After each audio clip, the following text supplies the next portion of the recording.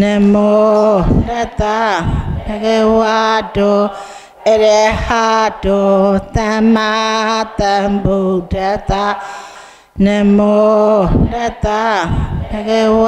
တောအရဟတောသမ္မာသမ္ဗုဒ္ဓတ္တနမောတတဘဂဝ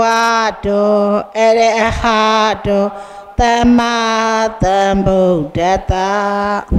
ပထမနေ့ကသင်္ကဟောအသင်္ကဟောသူ့မှာရေဓမာမပါဘူးပထမနေ့နေ့ကရေဓမာမပါဘူးရေဆွဲတရားမပါဘူးဟောပုတ်တွေကိုပဲခံအားဓာတ်ဖွဲ့တယ်ရေတွက်အပ်တဲ့ခံအားဓာတ်မရေတွက်အပ်တဲ့ခံအားဓာတ်ဒါပဲဖွဲ့တယ်နော်ဒုတိယနေ့ကကြတော့ဗာလေတိသင်္ကိတေနာအသင်္ကိဟိတံနော်သင်္ကိဟိတေနာအသင်္ကိဟိတံအ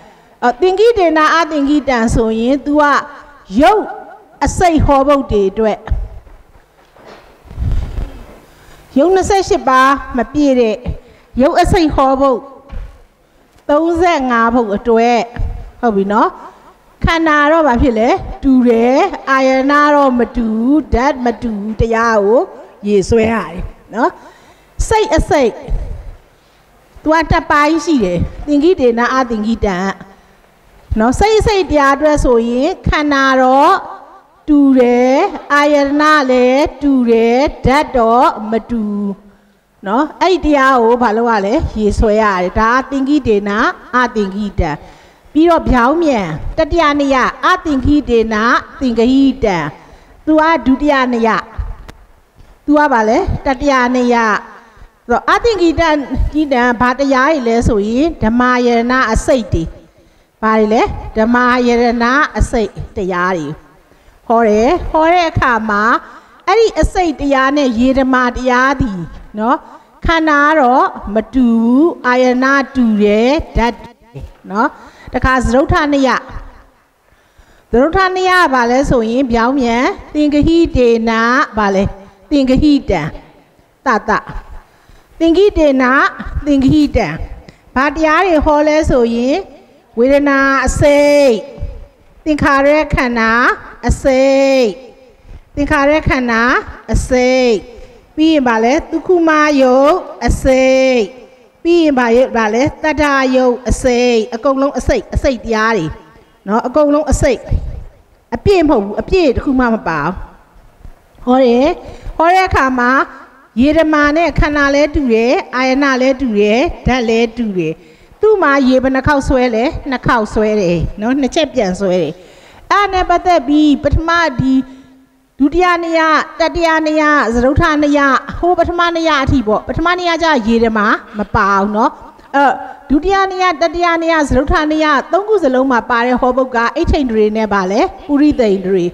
အိတ်ထိန်တွေပဲဖြစ်ဖြစ်ပုရိသိန်တွေပဲဖြစ်ဖြစ်အိတ်ထိန်တွေကပါလဲသူကုမယုတ်ဒုတိယနေရအရာရေဆွဲရင်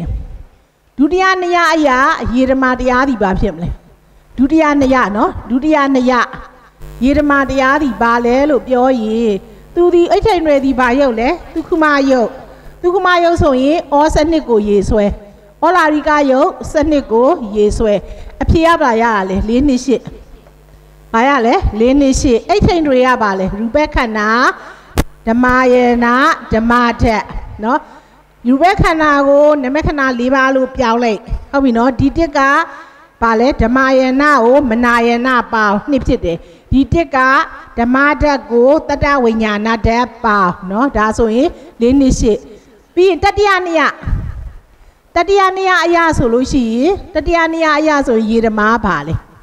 တတိယနေရအရာရေဓမာဆိုရင် तू ကသူနဲ့မတူတဲ့ဓမ္မယနာတွေကဝေဒနာရဲ့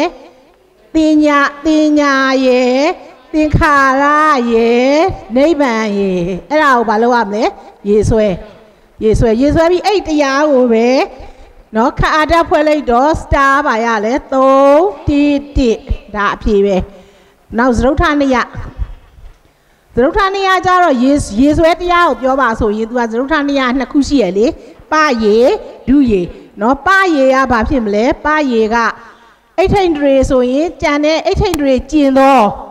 ဒုက္ခမယုတ်ဘယ်လောက်လဲ15ဒုက္ခမယုတ်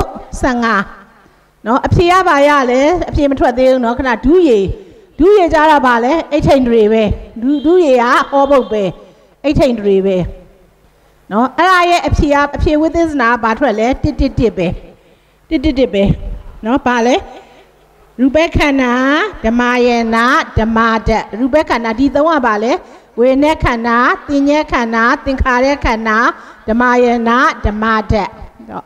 အော်ဒီနေ့ပြစ္စမနိယကိုသွားမယ်နော်အဲ့တော့ပြစ္စမနိယကကြတော့အသင်္ခိတေနာအသင်္ခိတံအအ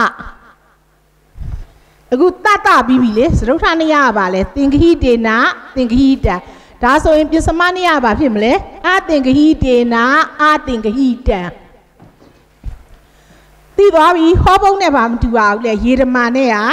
ခံရောအာရောဓာတ်ကောမတူပါဟောပုံနဲ့ရေဓမာနဲ့ဒီဘာမတူပါဘူးလေခန္ဓာရောအာယနာရောဓာတ်ကောမတူရအောင်နော်မတူရအောင်တော့ဆဆချင်းကျမတို့ဟောပုတ်တွေ380ပုံမှာဆဆချင်းဟောပုတ်ကပါလေရူပခန္ဓာ ခန္ဓာ၅ပါးရဲ့ဟာရူပခန္ဓာရူပခန္ဓာဆိုရင်ရုပ်ဘယ်နှပါးကိုပြောတာလဲ28ပါးရူပခန္ဓာရုပ်ဘယ်လောက်လဲ28ပါးအတိပ္ပယ်ကဩ7နှစ်နဲ့သူ16ပေါင်းထားတာပေါ့ဟုတ်လားဟုတ်တယ်နော်သူ့ကိုယူရင်17 17ဟုတ်လား17 17နော်ဒါကိုပထမနေ့အရာတွက်လိုက်ရင်17ရူပခန္ဓာ ဩလာရိကာယရဏ10ပါးဓမ္မယရဏဩလာရိကာယရဏ10ပါးဒုက္ခမယုတ်ကဓမ္မယရဏအာယနာ7ပါးဩလာရိကာဓာတ်10ပါးဓမ္မဓာတ်7 1 7 7 तू ကဘယ်သူ့ကိုရေဆွဲရလဲဆိုရင် तू လဲရေနှစ်ချက်ပဲပထမရေပရေတယ်မှာဘယ်သူ့ကိုရေဆွဲရလဲဆိုတော့စိတ်89ပါးကိုရေဆွဲရတယ်ဘာကိုရေဆွဲရလဲစိတ်89ပါးနော် စိတ်89ပါးကိုရေဆွဲရတယ်စိတ်89ပါးဆိုတာဝိညာဉ်နဲ့ခန္ဓာပေါ့အတူတူပဲဗာလဲဝိညာဉ်နဲ့ခန္ဓာသူ့ကိုရေဆွဲတော့စိတ်89ပါးကဘာရလဲဝိညာဉ်နဲ့ခန္ဓာမနာယရဏတတ္တဝိညာဏဓာတ်တစ်တစ်ခွန် तू ကဘာဘာခန္ဓာလဲသူတော့ကရူပခန္ဓာ तू ကဘာခန္ဓာလဲဝိညာဉ်နဲ့ခန္ဓာခန္ဓာချင်းမတူတူလားခန္ဓာချင်းမတူဟုတ်ပြီနော်ပြီးရင်တခါ तू က ဩလာရိကယေန10ပါးဓမ္မယေနအာယနာတစ်ပါးပဲမလို့ဘူးလားလူရဲဒီ17ပါးထဲမှာမတူတဲ့အာယနာကိုရှားမယ်ဆိုတော့မနာယေနပဲဒီတစ်ဒီမနာယေနအကြောင်းမလို့စိတ်89ပါးကိုရေဆွဲလိုက်ရတာပေါ့တခုပဲကြံနေလေဟုတ်တယ်နော် तू က17ပါးကြံလေတတဝိညာဏဓာတ်ကြံနေတတဝိညာဏဓာတ်အဲ့တော့ဒီမှာမနာယနာတတဝိညာဏဓာတ်ဆိုဒီရပါလေဝိညာဉ်နဲ့ခန္ဓာ ခန္ဓာချင်းလည်းမတူတော့ဘူးအဲ့တော့ဒီကကြတော့ဩနဲ့ဓမ္မယနာ तू ကဩနဲ့ဓမ္မယနာအဲ့တိစတိစတိ तू ကတိတိခွန်ဆိုတော့ရူပခန္ဓာသည်စိတ်အကျဉ်စိတ်89ပါးကိုအကျဉ်ဝိညာဉ်နဲ့ခန္ဓာကိုကြိုက်တာပြောရူပခန္ဓာသည်အကျဉ်စိတ်89ပါးတို့ကိုရူပခန္ဓာဟူသောရေတွက်ခြင်းဖြင့်ရေတွက်အပ် ဩလာရိကာယနာ10ပါးဓမ္မယနာဟူသောရေတွက်ခြင်းဖြင့်မရေတွက်အပ်ဩလာရိကာဓာတ်10ပါးဓမ္မဓာတ်ဟူသောရေတွက်ခြင်းဖြင့်မရေတွက်ဆိုလို့နာမတူလို့ပြောလိုက်တာသူနဲ့သူနဲ့ခံအားတတ်ခြင်းမတူအဲ့တော့ဒီဒီ86 89ပါးကဘာကိုဒုတိယရေပြန်ဆွဲရမလဲဆိုရင်ဟုတ်ပြီနော်အဲ့တော့ဒီတရားကို तू ကဘာလို့ခေါ်မလဲဒုတိယရေဆွဲတဲ့အချိန်မှာတေဟိဓမေဟိလို့ခေါ်မယ် ဟုတ်တယ်နော်တေဟိဓမေဟိအဲ့တရားသည်ဒုရေဓမာဖြစ်တဲ့တရားကိုဆိုတော့ဒုရေဓမာဖြစ်တဲ့တရားစိတ်89ဆိုကျန်တဲ့တရားစိတ်89မဟုတ်တဲ့တရားတွေကိုယူတော့ဟုတ်ပြီနော်ဆိုတော့ तू ကဒုရေဓမာဘာကိုယူရမလဲဆိုယုံ28စေသိ50နိဗ္ဗာန်ပေါ့ကျန်တဲ့တရား तू မဟုတ်တဲ့တရားပေါ့ဟုတ်တယ်နော် तू မဟုတ်တဲ့တရားယူလဲယုံ28စေသိ50နိဗ္ဗာန်ဆိုတော့အဲ့ဒီတရားတွေကို ဒီတရားသည်ဒီတရားကိုဟုတ်တယ်နော်တေဟိတမေဟိဆိုတဲ့ဒီတရားသည်ဒုယေဓမာဆိုတဲ့ယုံ28စေသိ50နိဗ္ဗာန်ဆိုတဲ့တရားကိုဝိညာဉ်နဲ့ခန္ဓာဒီဟုသောရေတွက်ခြင်းဖြင့်မရေတွက်ဟုတ်တယ်နော်ဝိညာဉ်နဲ့ခန္ဓာသူနဲ့သူနဲ့တူမလားမတူဝိညာဉ်နဲ့ခန္ဓာဟုသောရေတွက်ခြင်းဖြင့်မရေတွက်မနာယနာဟုသောရေတွက်ခြင်းဖြင့်မရေတွက်အပ် တတဝိညာဏဓာတ်ဟုသောရေတွက်ခြင်းဖြင့်မရေတွက်အပ်နော်ဒီကတကယ်ရေသူ့ကိုရေတွက်ကြည့်ရင်ဘာရလဲဆိုသူက4 7 7ရတယ်ဘာရလဲ4 7 7ပဲနော်ဟိုနဲ့တူတူပဲဟိုကတော့1 7 7နော်ရူပခန္ဓာမလို့ဒီမှာ4ပါဖြစ်သွားလဲစေသိက်52ပါသွားလို့ နော်ဒါမဲ့ဓမ္မယနာမှာတိုးလားမတိုးဘူးစေသိက်52ကဓမ္မယနာပဲနိဗ္ဗာန်လည်းဓမ္မယနာပဲအဲ့တော့ဒုရေဆွဲလိုက်တဲ့အခါကျဒီမှာကြံတဲ့တရားဒီမှာအကုန်ဆွဲလိုက်တယ်အကုန်ဆွဲလိုက်တော့ဒီ47 7ကိုသိစရာလည်းတကယ်တော့မလိုဘူးဟုတ်ပြီနော်အဲ့တော့ဒီတေဟိဓမေဟိဆိုရဲဒီပထမယေဓမတရားသည်အကျဉ် ယုံ28စေသိက်52နိဗ္ဗာန်ဒီဟုသောဒုတိယရေတရားကိုဘာနဲ့မရေဘူးလဲဝိညာဉ်နဲ့ခန္ဓာဒီရေတွဲခြင်းဖြင့်မရေတွဲမနာယနာဟုသောရေတွဲခြင်းဖြင့်မရေတွဲတတဝိညာဏဓာတ်ဒီဟုသောရေတွဲခြင်းဖြင့်မရေတွဲပြီးတော့မှအဖြေထွက်မယ်အဖြေကဘာနဲ့ထွက်ရမလဲအသင်္ခိတေနာအသင်္ခိတဆိုရင်အသင်္ခိတနေပဲ ဟုတ်ပြီနော်အသင်္ခိတပဲအဖြေကဘာလဲအသင်္ခိတနဲ့ပဲထွက်မယ်ဆိုတော့သူကသူ့ကိုတစ်တစ်ခွန်နဲ့မရေဘူးပေါ့ဟုတ်တယ်နော်ဒါဆိုရင်သူ့ကိုအဖြေရပါဖြစ်မလဲတစ်တစ်ခွန်နဲ့မရေဘူးပေါ့အဖြေကတစ်တစ်ခွန်ပဲဟုတ်တယ်နော်အဖြေကပရည်ဓမ္မာပဲဒါကြောင့်မလို့ तू ကဒီတရားကိုတေဓမ္မာဟိုက်တရားဒုရဓမ္မာတရားကိုတပါးသောတစ်တပါးသောပါနေဝိညာဉ်နဲ့ခန္ဓာဖြင့် တပါးသောမနာယနာဖြင့်ခုနှစ်ပါးကုန်သောတတ္တဝိညာဏဖြင့်မရေတွဲအပ်ကိုနောက်ဆုံးအဖြေကြရင်ကနန်းကိုထည့်ပြောတယ်တပါးသောဟုတ်တယ်နော်တစ်တစ်ခွန်တပါးသောဝိညာဉ်နဲ့ခန္ဓာဖြင့်တပါးသောမနာယနာဖြင့်ခုနှစ်ပါးကုန်သောတတ္တဝိညာဏဓာတ်တို့ဖြင့်မရေတွဲအဲ့လိုဆိုရင်ဒုရေဓမ္မကိုတွက်နေစရာလိုလားမလိုဘူးနော်အဖြေဒီပါပဲလေနောက်ဆုံးပရေပဲ အဖြေဒီပါလေပရေပဲနော်ပရေပဲအဲ့တော့အခုလိုမျိုးရူပခန္ဓာလိုမျိုးနော်စိတ်89ကိုရေဆွဲရတယ်ဘာဆွဲရလဲစိတ်80ပရေမှာစိတ်89ဒုရေမှာယုံ28စေသိ52နိဗ္ဗာန်အသေးဟုတ်တယ်နော်အဲ့လိုဆွဲရတာဘယ်လိုဟာမျိုးဆွဲမလဲလို့ပြောရင်နော်ယူဘက်ခန္ဓာလို့ဟောပုံမျိုးပေါင်းဘယ်နှပုတ်ရှိလဲဆို22ပုတ်ရှိတယ်ဘယ်နှပုတ်ရှိလဲ22ပုတ်ယူဘက်ခန္ဓာ ဟောပုံမျိုးပေါင်း22ပုတ်အဲ့22ပုတ်ရဲ့နော်ဟောပုတ်ကရုပ်ကြီးပဲလဲမဟုတ်ဘူး तू ကဘာလဲဆိုသူ့ဥပဒေကသူခုမရုပ်ပါရမယ်အဲ့ဟောပုတ်မှာဘာပါမလဲသူခုမရုပ်ပါမယ်စိတ်ကိုရေဆွဲရမှာမလို့စိတ်မပါရအောင်ဟုတ်တယ်နော်သူ့ရဲ့အင်္ဂါနှစ်ပါးပဲရှိတယ်ဒီဟောပုတ်ရဲ့အင်္ဂါဒီပါလဲနှစ်ပါးသူခုမရုပ်ပါရမယ်စိတ်မပါရအောင်ရှင်းတာပဲနော် ဟောပုတ်တဲ့ဒီ22ပုတ်ရဲ့အင်္ဂါဒီပါလဲသူခုမရုပ်ပါရမယ်အင်္ဂါ1နံပါတ်2ကစိတ်မပါရအောင်အဲ့ဒါဆိုရင် तू ကဒီတရားထဲမှာဒီအုပ်စုထဲမှာဝင်ပြီရူ22ခုထဲမှာရူ22ခုထဲမှာဟုတ်ပြီနော်အဲ့တော့ကျမမင်းမယ်စက္ခယရဏဝင်လားဒီထဲမှာအဲ့22ပုတ်ထဲမှာစက္ခနယရဏဝင်လားမဝင်ဘူးလေစက္ခယရဏဘာရုပ်လဲဩလာရိကယုတ်ဒုက္ခမယုတ်မှမဟုတ်တာဟုတ်တယ်နော်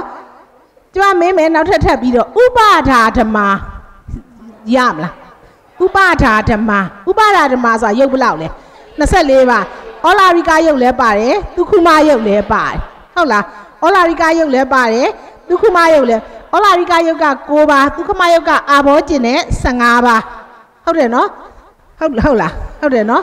အာဘောကျင်နဲ့15ပါဟိုကဩလာရိကယုတ်က6ပါဆိုတာပတေဝါလေ မဟာဘုတ်ကိုမဟာဘုတ်၄ပါးဖယ်ရမယ်မလားအဲ့တော့ဥပါဒါဓမ္မဆိုမရဘူးလားရတယ်ရူပခန္ဓာမဟုတ်ဘူးနော်နောက်ဟောဘုတ်တို့ကပါလဲဥပါဒါဓမ္မဥပါဒါဓမ္မဥပါဒါဓမ္မာကကျမတို့တီးဘယ်လောက်လဲ30 30ဟုတ်လားဥပါဒါဓမ္မာဒီပါလဲတီး30 30အဲ့ဒါရရမယ်နံပါတ်1ဟောဘုတ်ကဘာလဲဆိုရဲဥပဒေညီညွတ်ပြီးအဲ့ဟောဘုတ်ထဲမှာဘာတရားပါလဲ အဲ့ပါပြီးအဲ့ဟောဘုတ်ကိုနရ1အရာဘယ်လိုဖွဲ့လဲနရ1အရာဘယ်လောက်ဖွဲ့မလဲတီး30 30တစ်ကရူပခန္ဓာဟုတ်ပြီနော်ဥပါဒဓမ္မထဲမှာဖုဒ္ဓဘာယနာမပါဘူးဒါကြောင့်မလို့ဩလာရိကယနာဖုဒ္ဓဘာယနာကျင်တဲ့ဩလာရိကယနာ9ပါးကျန်တဲ့ဒုက္ခမယုတ်တရားဓမ္မယနာဒါကြောင့်မလို့10ပါဒီမှာလဲဒီလိုပဲဖုထဘတ်ဓာတ်ကျင်သောဩလာရိကဓာတ်10ပါ ကိုပါဓမ္မဓာတ်130 30အဲ့ဒါကိုအရင်သိထားရမယ်ပြစ္စမနရအဲ့ဒါအဓိကကြတယ်အဲ့တော့ဟောဘုတ်လည်းသိရမယ်ဟောဘုတ်ရဲ့တရားကိုလည်းသိရမယ်ဒါကိုလည်းဖွဲ့တတ်ရမယ်ဖွဲ့ရတာမှမြန်မြန်ဖွဲ့တတ်ရမယ်ဟုတ်ပြီနော်အခုကျမှနရတစ်ကိုစိတ်ကူးပြီးတော့ဖွဲ့မယ်ဆိုရင်တရားမှားရင်ဖွဲ့တာမှားပြီနော်တရားမှားရင်ဖွဲ့တာမှားပြီနော်အဲ့တော့ဥပါဒဓမ္မာသည်ဘသူ့ကိုရေဆွဲလဲစိတ်89ပါးကိုပဲရေဆွဲမယ်အဲ့ဒီအုပ်စုဒီ အင်္ဂါနှစ်ပါးဖြစ်တဲ့ဒုက္ခမယုတ်ပါမယ်စိတ်မပါရဘူးဆိုရင်ဟောဘုတ်ဆိုရေဆွဲရမှာပါလဲစိတ်89ပါးစိတ်89ပါးကိုရေဆွဲရင်ဥပါဒဓမ္မာသည်စိတ်89ပါးကိုရူပခန္ဓာနဲ့မရေဘူး तू ကဘာဖြစ်လို့လဲဝိညာဉ်နဲ့ခန္ဓာဖြစ်နေလို့ဩလာရိဘုဒ္ဓဘာယနာကျင်သောဩလာရိကယနာ9ပါးဓမ္မယနာဆိုတဲ့စိတ်အားနဲ့မရေဘူး10ပါးပြောစရာမလို နော်ဩလာရိကယနာ9ပါးဓမ္မယနာတို့ဖြစ်မရေဘူးဘာလို့လဲ तू ကမနာယနာဖြစ်နေလို့ဖုဒ္ဓဘာဓာတ်ကျင်သောဩလာရိကဓာတ်9ပါးဓမ္မဓာတ်နဲ့ဟူသောရေတွက်ချင်းဖြင့်မနေတွက်အကုံ तू ကပါလဲတတ္တဝိညာဏဓာတ်ဖြစ်နေလို့ပြီးရင်တော့အဲ့ဒီစိတ်89ပါးကတခါသူနဲ့ခံအားထက်ထပ်ထပ်မတူတဲ့တရားကိုရေထက်ဆွဲရမယ်ဟုတ်ပြီနော်ပါရေဓမ္မာကသူနဲ့ခံအားထက်မတူတဲ့တရားကိုထက်ရေဆိုတော့ဒီတရားပဲအဲ့ဒါကတော့ ယုံ20ရှိစေသိ50နိနိဗ္ဗာန်အဲ့ဒါပဲရေဆွဲရမယ်ပြန်ပြီးတော့ဟုတ်ပြီနော်ပြန်ရေဆွဲရင်သူဒီပါဘလောက်ဖြစ်မလဲတွက်စရာမလိုဟုတ်ပြီနော်ဒါအောင်ရေဆွဲမယ်အဲ့တော့စိတ်89ပါးသည်ဟုတ်တယ်နော်ထိုတရားဖြစ်တဲ့စိတ်89ပါးသည်အကျဉ်ယုံ28စေသိ52နိဗ္ဗာန်တို့ကို ဝိညာဉ်နဲ့ခန္ဓာဟူသောရေတွဲခြင်းဖြင့်မရေတွဲအပ်မနာဟုနဲ့နာဟုသောရေတွဲခြင်းဖြင့်မရေတွဲတတ္တဝိညာဏဓာတ်ဟူသောရေတွဲခြင်းဖြင့်မရေတွဲပြီးတော့မှအဲ့ဒီတရားကိုမရေတွဲအပ်တဲ့အဖြေဆိုတော့ဒါပဲပေါ့အဲ့တော့အဖြေရပါလေတစ်တစ်ခွန်ပဲပါရဓမ္မတရားပဲเนาะအဲ့တော့ဟောဒီနေရာမှာဥပါဒဓမ္မမဟုတ်ဘဲနဲ့အိတ်ထိန်တွေဆိုရင်ရောရမလားအိတ်ထိန်တွေရမလား ရတယ် तू ကဒုက္ခမယုတ်ဖြစ်ရမယ်ဟုတ်တယ်နော်ဒုက္ခမယုတ်ဖြစ်ရမယ်ဒုက္ခမယုတ်ပါရမယ်ပါမယ်ဆိုဒုက္ခမယုတ်ကဒုက္ခမယုတ်ပဲဗောဟုတ်တယ်နော်ဒုက္ခမယုတ်ပါမယ်ဩလာရိကယုတ်ပါမယ်မပါဘူးလို့ပြောလားမပြောဘူးဒုက္ခမယုတ်ပါမယ်စိတ်မပါရဘူးအိတ်ထိန်တွေဆိုတဲ့ဟောဘုတ်ကိုဟောလို့ရတယ်အိတ်ထိန်တွေဒီပါလေရူပခန္ဓာဓမ္မယေရနာဓမ္မတဲ့အဲတရားဖွဲ့ပြီးသားဖြစ်ရမယ်ဟုတ်ပြီနော် သူသည်နော်ဘယ်သူရေဆွဲမလဲဟိုစိတ်စိတ်စိတ်စိတ်ကိုပဲစိတ်စိတ်ကိုပဲရေဆွဲမယ်အဲ့ထိန်တွေသည်အကျဉ်စိတ်89ပါးတို့ကိုရူပခန္ဓာဟူသောရေတွက်ခြင်းဖြင့်မရေတွက်အပ်ဓမ္မယေနာဟူသောရေတွက်ခြင်းဖြင့်မရေတွက်အပ်ဓမ္မတဟုသောရေတွက်ခြင်းဖြင့်မရေတွက်အပ်ထိုစိတ်89ပါးတို့သည် အကျဉ်ယုံ28ပါးစေသိမ့်52နိဗ္ဗာန်တို့ကိုမနာယဝိညာဉ်နဲ့ခန္ဓာဟူသောရေတွဲခြင်းဖြင့်မရေတွဲအပ်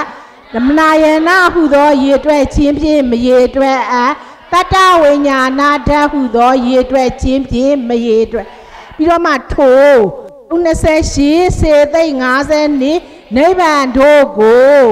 ဒါနဲ့ပဲတပါးကုံသောဝိညာဉ်နဲ့ခန္ဓာဖြည့်တပါးကုံသောတပါးသောမနာယနာဖြည့်ခုနှစ်ပါးသောတတ္တဝိညာဏတဖြည့်မရေတွဲအကုံဒါအဖြေကိုနောက်ဆုံးကြမှာတစ်တစ်ခွန်ကနန်းနဲ့ထွက်တယ်ဟုတ်ပြီနော်တစ်တစ်ခွန်တပါးသောဧကေနခန္နေနဧကေနာယနေနတတ္တဟိဓာတုဟိအတင်ဂဟိတာဆိုသူ့တိုင်းလေးပဲသူ့မှာသင်္ချာပါရင်တပါးသော သူ့မှာတော့သင်္ချာရီထဲမဆိုဘူးဖော်ရဲဆိုတယ်ခန္ဓာအာယနာတက်ကိုဘာဖြစ်လဲဖော်ဆိုလိုက်တယ်เนาะအဲ့တော့အဲ့ထိတ်တွေရောမရဘူးလားရတယ်အဲ့ထိတ်တွေလည်းရတယ်เนาะပြီးရင်เนาะနောစိတ်တာဓမ္မစိတ်တာဓမ္မနောစိတ်တာဓမ္မနောစိတ်တာဓမ္မစိတ်မဟုတ်သောတရားစိတ်မဟုတ်သောတရားဆိုပါလေ စေသိမ့်50နှစ်ယုံ28နိဗ္ဗာန်မဟုတ်လားနော်အဲ့တရားနောစိတ်တာဓမ္မယုတ်ကဗလားလေ28စေသိမ့်က50နှစ်နိဗ္ဗာန်အော်ယုံ28စေသိမ့်50နှစ်နိဗ္ဗာန်ဒါနောစိတ်တာဓမ္မသူ့ကိုဖွဲ့ဖော်ရေးသူ့ရဲ့သူ့ကိုတရားကိုဟိုနေဖွဲ့ပါရလေလေးလေစတိစတိမဟုတ်လားနိဗ္ဗာန်ပါတော့ star ပေါ့ နော်ခန္ဓာကဒီမှာစေသိက်52ဆိုတာခန္ဓာ3ပါး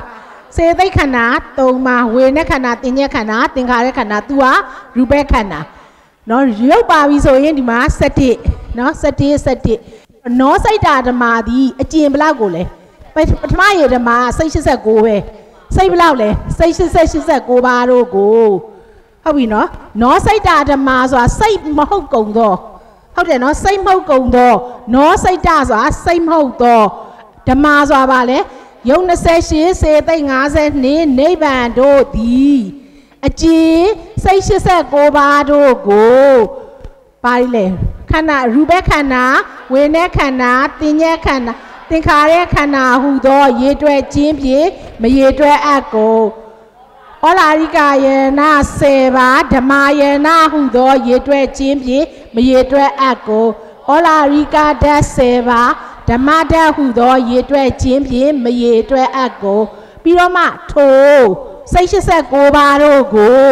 ခုနအတိုင်းပဲပေါ့ရုပ်ပါလေ28စေသိန်း50နှစ်နိဗ္ဗာန်နော်ထို စိတ်89ပါးတို့သည်အကျဉ်ယုံ28စေသိန်း50နှစ်နိဗ္ဗာန်တို့ကိုဝိညာဉ်နဲ့ခန္ဓာဟုသောရေတွဲခြင်းဖြင့်မရေတွဲအပ်မနာယနာဟုသောရေတွဲခြင်းဖြင့်မရေတွဲတတ္တဝိညာဏဓာတ်ဟုသောရေတွဲခြင်းဖြင့်မရေတွဲထိုယုံ28စေသိန်း50နှစ်နိဗ္ဗာန်တို့ကိုတပါးကုန်သောဝိညာဉ်နဲ့ခန္ဓာဖြင့် တပါးကုန်သောမနာယနာဖြင့်ခုနှစ်ပါးကုန်သောတတ္တဝိညာဏဓာတ်ဖြင့်မရေတွဲအပ်ဟုတ်ပြီနော်အဲ့တော့အဲ့ဒီလိုမျိုးဟောပုတ်ပေါင်းမနှစ်ခုရှိလဲ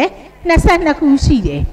အဲ့လိုမျိုးဟောပုတ်ပေါင်းမလို့ခုရှိလဲ22ခုရှိတယ်တဲ့နော်အဲ့တော့အဲ့ဒါလေးတွေကိုအဲ့22ခုကိုကျမတို့လိုက်ပြီးတော့နော်ဒီပြင်စမနေရမှာရှာကြည့်မယ်နော်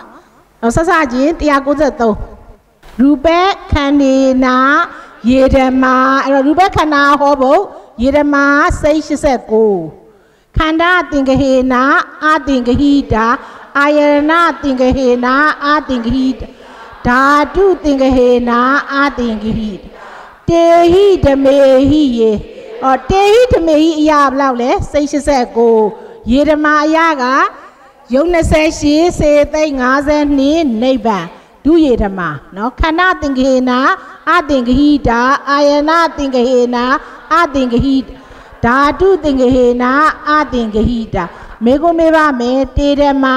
ကတိဟိခန္နေဟိကတိဟာယနေကတိဟိဓာတုဟိအသင်္ကဟိတာတေဓမာဧကေနခန္နေန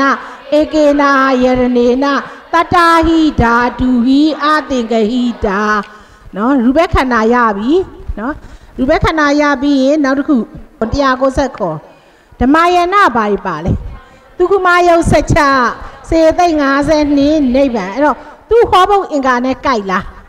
ကြိုက်တယ်သူကုမယုတ်ပါတယ်စိတ်မပါဘူးเนาะကြောင့်မလို့ဓမ္မယနေနာရေဓမ္မဓမ္မဓာတုယာရေဓမ္မအိဋ္ဌိန္ဒြိယေနာရေဓမ္မပုရိသိန္ဒြိယေနာရေဓမ္မဇီဝိတိန်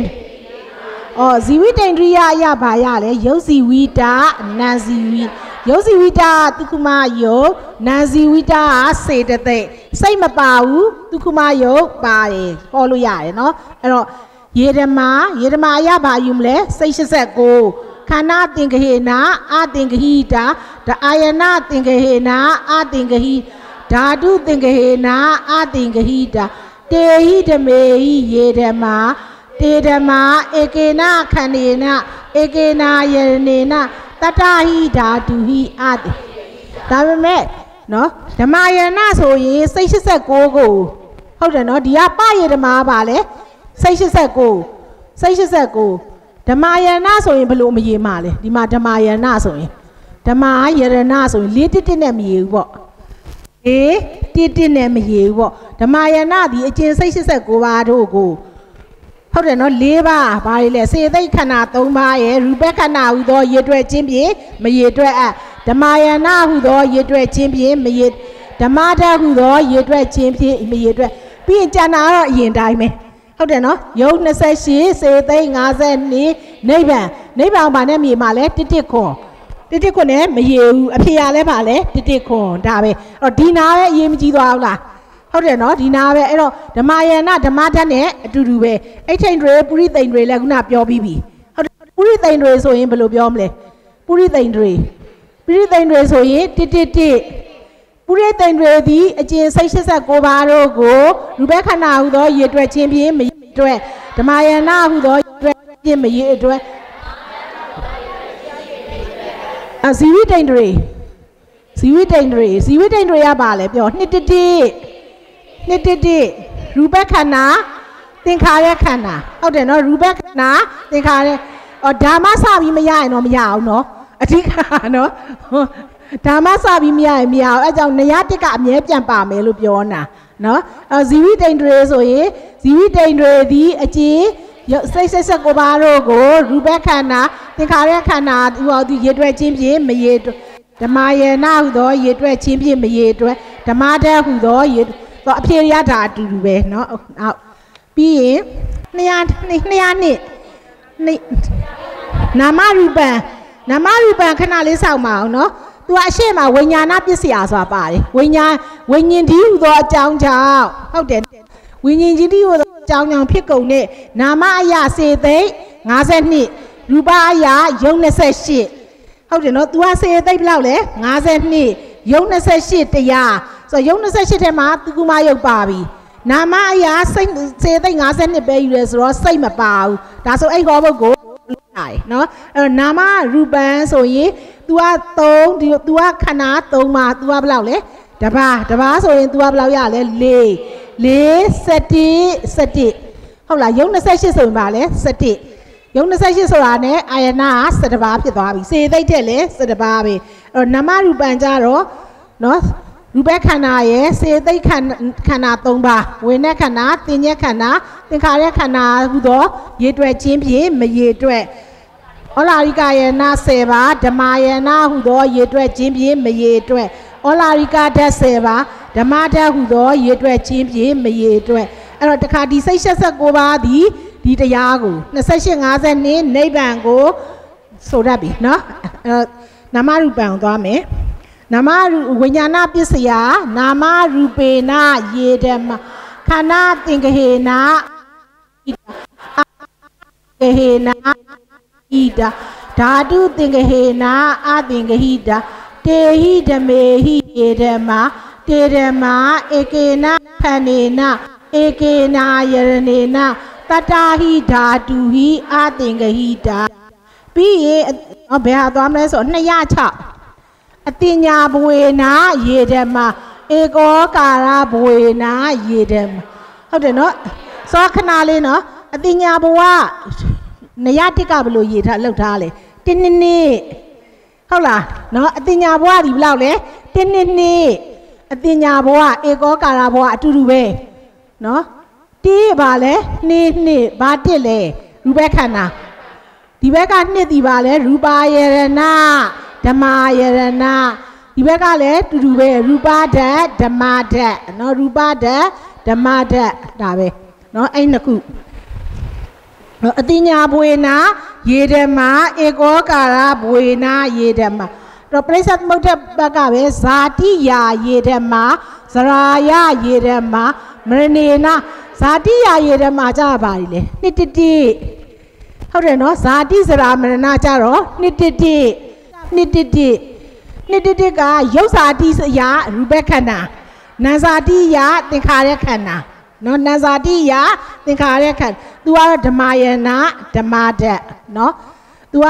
ရူပခန္ဓာနဲ့ဗာနဲ့လေသင်္ခါရခန္ဓာသင်္ခါရခန္ဓာခန္ဓာသင်္ကေနအသင်္ခိတာအာယနာသင်္ကေနအသင်္ခိတာဓာတုသင်္ကေနအသင်္ခိတေ ဓမ္မာတေဟိဓမေဟိယေဓမ္မာတေဓမ္မာဧကေနခန္ဒေနာဧကေနာယေနေနာတတဟိဓာတုဟိအသင်္ကဟိတာပြီးတော့မှနော်ပြီးရင်ဟိုအဲ့ဒါအဲ့ဒီမှာဟိုနင်းပြီးသွားပြီအပန္ဒရာမာတိကာကုံသွားပြီအပန္ဒရာမာတိကာတွေကသူကုမာယုတ်ပါစိတ်မပါတဲ့ဟောဖို့ပေါ့နော်သူခုမယုတ်ပါမယ်ရုပ်တိုင်းပါတော့မလားမပါတော့ဘူးနော်သူခုမယုတ်ပါတဲ့ရုပ်တွေပဲပါမယ် အဲ့တော့အဲ့ဒီအထိကဘယ်နှပုတ်ရှိလဲရူပရူပခန္ဓာတစ်ပုတ်ဓမ္မယေနာဓမ္မဓာတ်၃ပုတ်အဋ္ဌိအိတ်ထိန်တွေပူရိသိန်တွေနော်၅ဘုတ်ဇီဝိတိန်တွေ6ဘုတ်နာမရူပံ9ဘုတ်ဒွေဘဝကိုဘုတ်ဘဝနှစ်ခုကကိုဘုတ်နောက်ဇာတိစရာမမရဏ3ဘုတ်12ဘုတ်ပေါ့12ဘုတ်နော် အပန္ဒရာမာတိကာဘယ်နှပုတ်လဲ12ပုတ်ဒါဆိုရင် तू ကအဲ့ဒီလိုမျိုးတစ်တစ်ခုနောက်ဆုံးအဖြေထွက်သွားတာ22ပုတ်ရှိတယ်။ဘာရှိလဲ22ပုတ်22ပုတ်ဆိုတော့ကြံတဲ့ဘာယမာတိကာဘယ်နှပုတ်ရှိမလဲ10ပုတ်ပေါ့10ပုတ်အဲ့ဒီမှာဘယ်သူကစမလဲဆိုရူပီနောဓမ္မာပြန်စမယ်ရူပီနောဓမ္မာဘယ်သူနဲ့အတူတူပဲလဲရူပက်ခန္ဓာနဲ့အတူတူပဲရူပီနောဓမ္မာဘယ်ဒုက္ခလဲဆူလန္ဒရာဒုက္ခနော်ဆူလန္ဒရာဒုက္ခအဲ့တော့အဲ့ဒါက216 216 39စာမျက်နှာ39ရူပီဟိဓမေဟိယေဓမ္မာခန္ဓာသင်္ကဟေနာအာသင်္ကိတာအာယနာသင်္ကဟေနာအာသင်္ကိဓာတုသင်္ကဟေနာအာသင်္ကိတေဟိဓမေဟိယေဓမ္မာတေဓမ္မာဧကေနာခန္နေနာဧကေနာယနေနာတတဟိဓာတုဟိအာသင်္ကဟိတာပြီးတော့မှ မန္တရတုတ်သေးကအနာရမဏပါလေအနာရမဏအနာရမဏပါလေအာယုံမြူရတ္တာဆိုတော့အနာရမဏယုံနိဗ္ဗာန်ပေါ့ဟုတ်လားအနာရမဏဆိုတာပါလေယုံနိဗ္ဗာန်ယုံ18ရဲ့နိဗ္ဗာန်ယုံ28နိဗ္ဗာန်ဆိုရဲကစတာ1 7 7ဒါပဲเนาะအဲ့တော့ဒီတရားဒီစိတ်89ပါးကိုစိတ်ပါလေ89ပါးကိုတခါဒီစိတ်89ပါးဒီ ယုံ28စေသိန်း50နိနိဗ္ဗာန်ကိုဆိုအနာရမဏရမယ်နောက်တစ်ခုကဘာရသေးလဲဆိုရင်နောစိတ်တာခုနကကျွန်မပြောပြီးပြီနောစိတ်တာနောစိတ်တာနောစိတ်တာကဘာလဲစတာ4 7 7နောစိတ်တာဟုတ်လားနောစိတ်တာ4 7 7ပြီးရင်စိတ်တဝိပယုတ်တာစိတ်တပါလဲဝိပယုတ်တာ စိတ်နဲ့မရှင်သောတရားစိတ်နဲ့ရှင်သောတရားပါလေစေသိ52စိတ်တဝိပယုတ်တာယုံနိဗ္ဗာန်ယုံနိဗ္ဗာန်ယုံနိဗ္ဗာန်ဆိုတော့ star t 7 7သူနဲ့အတူတူပဲလေအနာရမဏနဲ့အတူတူပဲပြီးတော့တခါစိတ်တာဝိတန်တတ္ထာဟုတ်လားစိတ်တာပါလေဝိတန်တတ္ထာအတူတူပဲစိတ်တဝိပယုတ်တာရယ်စိတ်တအနာရမဏရယ်နော်အဲ့အဲ့ဒီဒီသုံးခုကအတူတူပဲဒီသုံးခု အနာရမဏရယ်စိတ်တဝိပယုတ်တာရယ်စိတ်တဝိတန်တတ္ထာရယ်နော်သင်္ချာလဲတူတယ်တရားလဲတူတယ်နော်ပြီးတော့မှတခါဘာရှိသေးလဲဆိုရင်စိတ်တသမုဋ္ဌာနာစိတ်တပါလေသမုဋ္ဌာနာစိတ်တသမုဋ္ဌာနာစိတ်တသမုဋ္ဌာနာဆိုတာစိတ်သမုဋ္ဌာနာဆိုတာစိတ်ကြောင့်ဖြစ်တဲ့တရားစိတ်ကြောင့်ဖြစ်တဲ့တရားစိတ်ကြောင့်ဖြစ်တဲ့တရားဆိုရင်စေတသိက်52ရဲ့စိတ်တစားယုတ်ရ ။ဘာလဲစိတ်တစားရုပ်ရယ်စိတ်တစားရုပ်ရယ်နော်။အော်စိတ်တစားရုပ်ထဲမှာအာယနာကအစ္စတိကယနာ၅ပါးမပါဘူး။ဆက်သောခါစီကမပါဘူး။ဆက်သောခါစီကမပါဘူးနော်။အဲ့စိတ်စားရုပ်ထဲမှာနော်စိတ်စားရုပ်ထဲမှာဆက်သောခါစီကံပါတော့ခန္ဓာဘယ်နှပါလဲဒီက52ရဲ့ယုတ်ကရူပခန္ဓာရဲ့ဆိုတော့ခန္ဓာ၄ပါနော် အဲ့တော့ဒီနာယနာလည်းမပါဘူးပေါ့စိတ်လည်းမပါဘူးလေဟုတ်တယ်နော်မနာယနာရဲ့ခုနအာယနာ၅ပါးရင်မပါဘူးဆိုအာယနာ6ပါးမပါတော့ကြံတဲ့6ပါးရူပတတ္တခန္ဓာရတ္တဖုထပါနဲ့ဓမ္မဟုတ်ပြီနော်ဒီဘက်ကလည်းဒီတိုင်းပဲအဲ့6ပါးပဲရူပဓာတ်တတ္တဓာတ်ခန္ဓာဓာတ်ရတ္တဓာတ်ဖုထပါဓာတ်နဲ့ဗာလဲဓမ္မဓာတ်466နော်466ရှေ့ကတော့နိဗ္ဗာန်ပါတယ်ဆိုတော့ star တော့ပါလိမ့်မယ်နော် အဲ့တော့အဲ့တရားဒါ466စိတ်တသမုဋ္ဌာနာဓမ္မစိတ်တသမုဋ္ဌာနာပြီးစိတ်တသဟဘူးနောဓမ္မဟုတ်လားစိတ်တသဟဘူးနောသဟဘူးနောစိတ်တသဟဘူးနောကဘာလဲစေသိက်52နဲ့ဝိညာဉ်တွေဝိညာဉ်တွေနော်ခန္ဓာကြတော့ဘယ်လောက်လဲ၄ပါးဝိညာဉ်တွေကရုပ်ကိုစေသိက်52ကဝိညာဉ်ခန္ဓာတင်ညက်ခန္ဓာသင်္ခါခန္ဓာ၄ပါးဟုတ်ပြီနော် စိတ်တမစတာမပါ sorry နိဗ္ဗာန်မမပါတာနော်စိတ်တသဟဘူးနော်၄တိတိနော်စိတ်တသဟဘူးနော်နဲ့ဘယ်သူနဲ့ဘယ်သူနဲ့တူလဲစိတ်တာနုပရိဝတ္တိနော်စိတ်တာနုပရိဝတ္တိနော်နဲ့အတူတူပဲနော်ဝတ္တိနော်နဲ့အတူတူပဲသူလဲပါရလေ၄တစ်တစ်ပဲနော်အဲ့ဒီတရားတွေအားလုံးကသူခုမယုတ်တော့ပါတယ်စိတ်တော့မပါဘူးเนาะအဲအကြောင်းလို့အဲ့တရားတွေအားလေပါရဓမ္မဖြစ်စိတ်89 ဒဒုရေဓမာဖြစ်28 52နိဗ္ဗာန်နော်အဲ့ဒါကိုရေးဆွဲရတယ်အဖြေတွေဘာထွက်မလဲတစ်တစ်ခွန်ဘာထွက်မလဲတစ်တစ်ခွန်ဘာကြောင့်လဲပရေဓမာတရားကတစ်တစ်ခွန်မလို့ပရေပဲအဖြေကနော်အဲ့တော့222နော်အာနည်းနည်းတစ်ခါရဲဆက်လက်ဦးမယ်ဘာဟိရာဓမ္မာဘာလဲဘာဟိရာဘာဟိရာဘာဟိရာဆိုတာဘယ်သူနဲ့ပြောင်းပြန်လဲအတ္တိက အစ္စတိကဆိုတာတတ်လာရဲ့နားနဲ့တူပဲလေဟုတ်တယ်နော်ဆက်သောခါစီကရဲ့စိတ်ရဲ့လေဆက်သောခါစီကရဲ့ပါလေစိတ်ရဲ့ဆက်သောခါစီကရဲ့စိတ်ရဲ့ဘာဟိရာဓမ္မာထဲမှာပါတာပါလေနော်စေသိန်း52ရဲ့ယုတ်က23ရဲ့ဟုတ်တယ်နော်ယုတ်က23ရဲ့စိတ်မပါဘူးနိဗ္ဗာန်ရဲ့ဒါပဲနော်ယုတ်23ရဲ့အဲ့တော့ तू ကအဖြေကဘာထွက်လဲဆိုရင် star ဟုတ်တယ်နော်စေသိန်း52ရဲ့ယုတ်ရဲ့ဆိုခန္ဓာ၄ပါး နော်အာယနာကခုနကတော့ဘာမပါဘူးလဲ6ပါမပါဘူး၄6 6သူကစတားပါတယ်ဟုတ်တယ်နော်နာစိတ်တသမုဋ္ဌာနာမပါစတားမပါဘူး၄6 6ကလည်းအဲ့နှစ်ခုပဲရှိရမှာလားနော်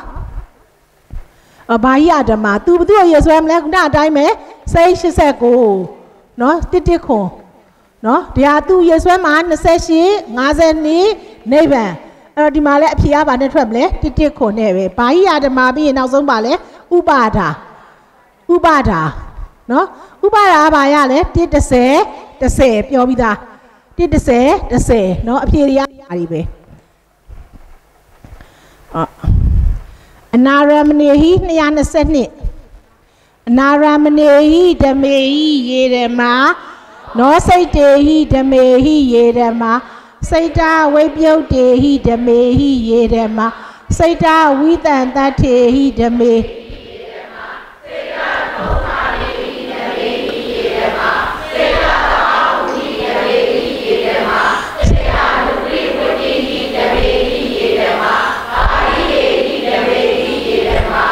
ဘာရာဓမေဟိယေရမခန္ဓာ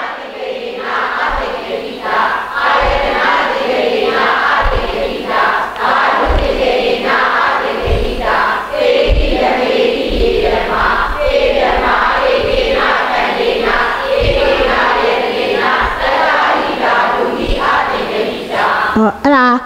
ပြီးရင်ကျမတို့စာမျက်နှာဒီနေ့ဝေတဲ့စာရွက်ပေါ့နော်စာမျက်နှာစာမျက်နှာ23ထိတ်ကလေးမှာထိတ်ကလေးမှာပါဠိတော်လားတဲ့ပြစ္စမနယဥရန်စင်္ဂါထာနှင့်အ내ပေးတဲ့နော်တကယ်တော့ဥရန်စင်္ဂါထာဆိုတာ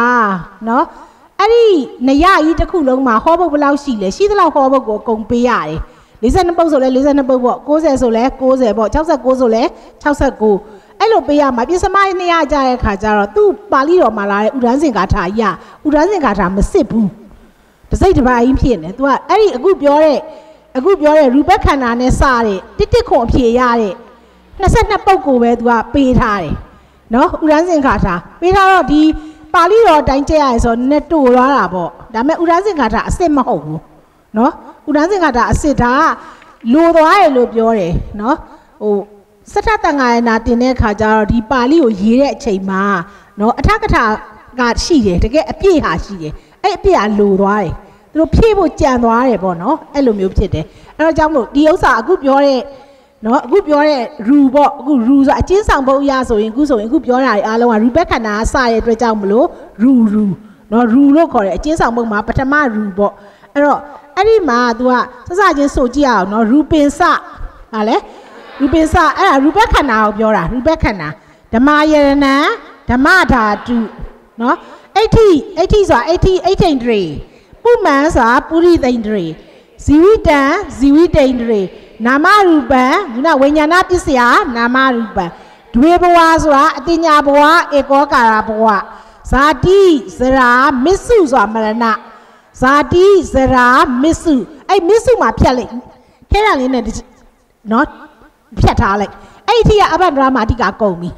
နော်အနောက်ကမစ္စုနောက်မှာရူပံမလားအဲ့ရူပံဆူလန္ဒရာတုတ်ရဲ့ရူပီနောဓမ္မ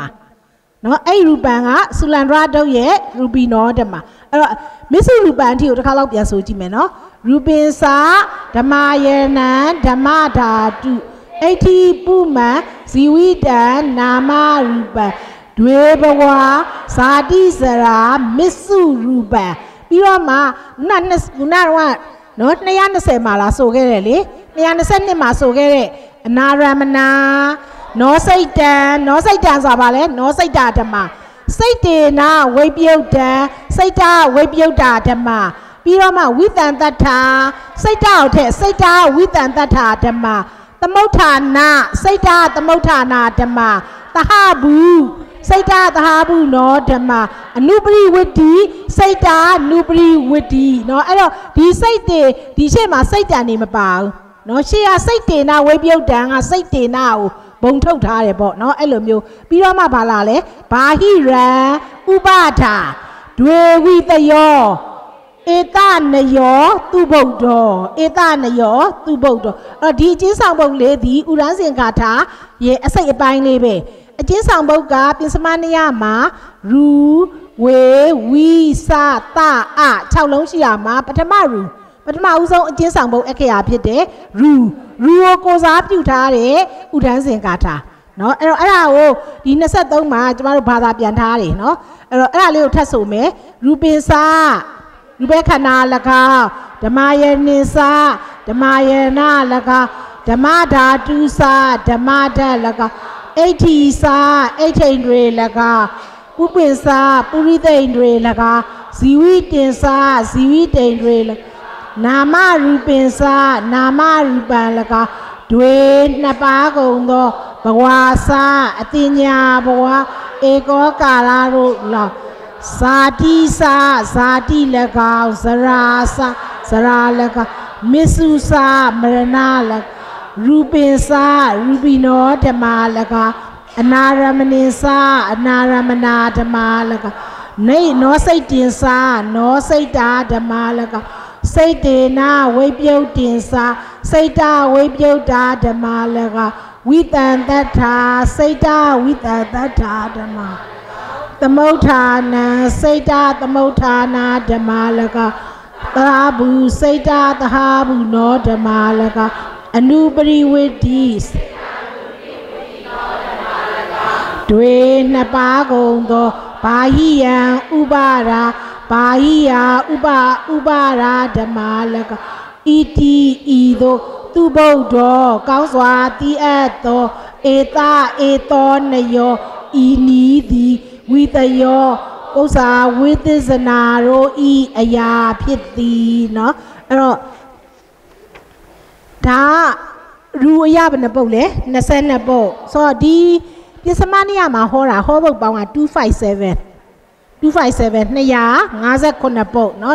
259ပုတ်အခုကျမတို့ဆိုသွားရအားလုံးကဘယ်နှပုတ်ပဲလဲ22ပုတ်ပဲရှိသေးရဲ့เนาะ22ပုတ်ပဲဆိုတော့ပြန်တဲ့ဝေ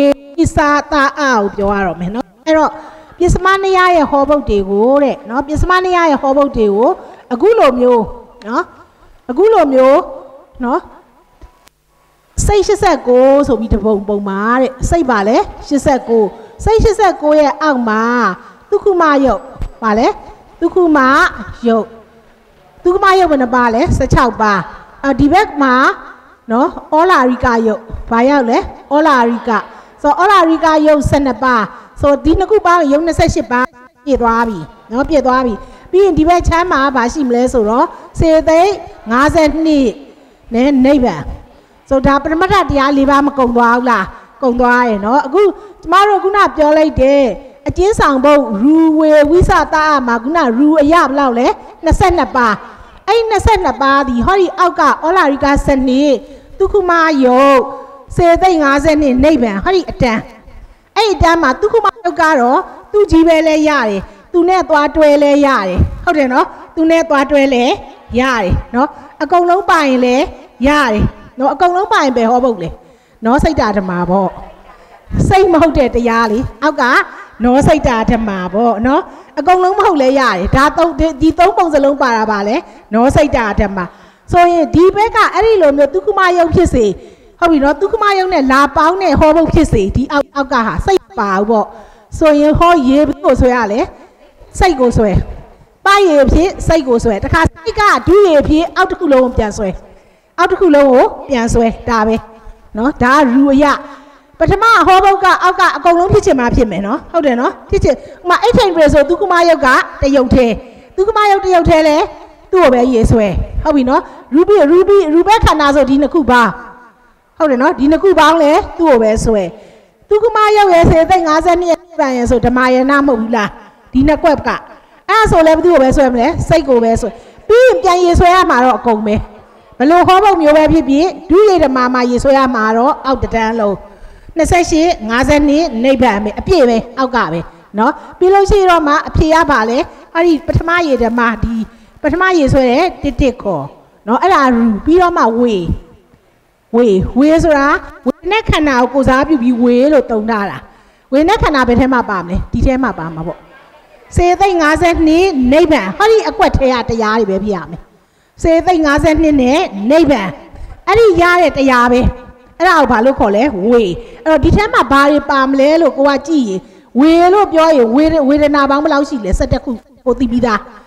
ဝေဒနာအပြည့်က3ပုတ်ဝေဒနာအစိတ်က10ပုတ်ဝေတင်ညာရောပါလားသိတယ်တင်ညာပါတာပေါ့တင်ညာ2ပုတ်